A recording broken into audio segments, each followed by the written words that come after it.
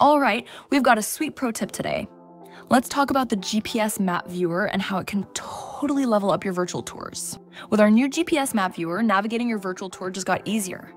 Not only can viewers jump to different points by clicking on the map, but as a tour creator, this tool is a total game changer. Instead of clicking through images one by one, you can now instantly see all your hotspots in relation to each other and easily add connections. For example, I had an image I wanted to connect, but it wasn't automatically linked due to its distance from the other images in the route. So I opened the map and found the image I wanted connected. Then I searched for that image and created my hotspot link.